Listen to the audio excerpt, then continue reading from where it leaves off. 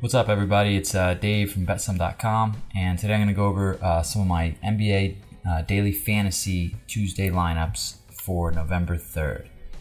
We'll start with point guards. First, I have uh, Rajon Rondo uh, at 6,000.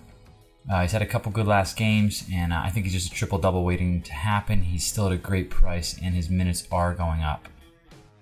Next, we have Williams at 5,700, getting just under about 30 points. Uh, he was only playing about 22 minutes, so it's a great points to minutes ratio. And uh, he played 28 minutes last game, and I think he'll be he should be playing a lot more as the games go up. So as the games go by. So it's a low price for a high floor and decently large ceiling here.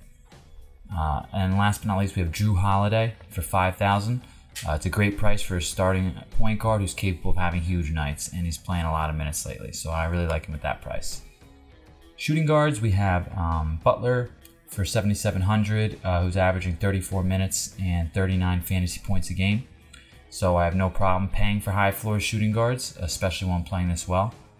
Um, sometimes shooting guards are seem to sink my lineups personally, so I don't mind paying for them.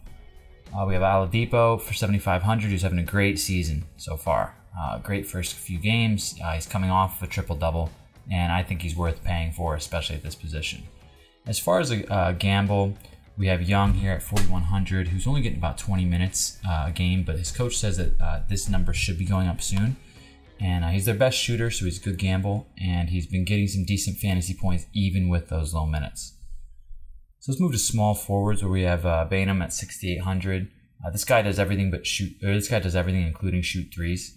Uh, he's getting 35 minutes a game, so he's always got a uh, high floor because of that. So uh, next we have Gallinari at 6,400, and uh, this guy's capable of huge nights as he does everything.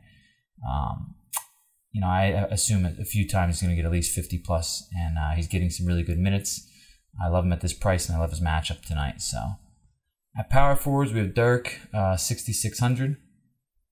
Uh, this guy's just a great spot for a double double. He's only getting 25 minutes a game. His num- his minutes should increase as the season goes on, uh, but even at this price, uh, his numbers dictate a, a good uh, pick.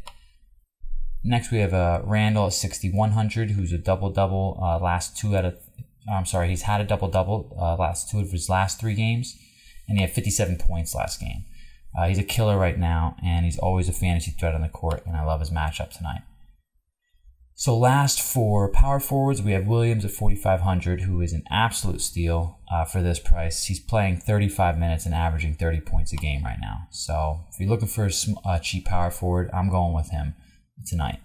And as far as centers, um, I like Drummond as well. I should uh, I should mention he's not on here, but um, I'm gonna go with Vucevic, who shoots very well and is a blocks and rebounds machine. He's playing 35 minutes a game, and uh, he's a lot cheaper than uh, Drummond. So at 7,700, I, I think he's capable of putting up similar points, and I'll allow you to buy high elsewhere. So.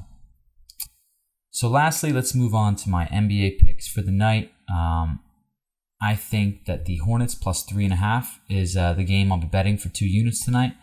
Uh, the Bulls are playing at Charlotte, and the Hornets are only plus three and a half. And I think this is a classic spot where the home team or the uh, away favorite should be favored by like a little more, like five and a half, five.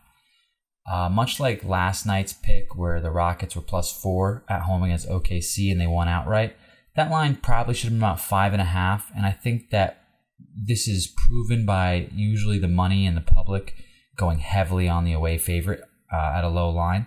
But I think the line really indicates is that they're a little stronger in those spots than they look. So I'm going to go with the uh, Hornets uh, at home plus three and a half. I think they're going to win outright. And I think Kemba Walker has a big game here. So I'm happy to go against the 88% of the public and go against the grain and take Charlotte here.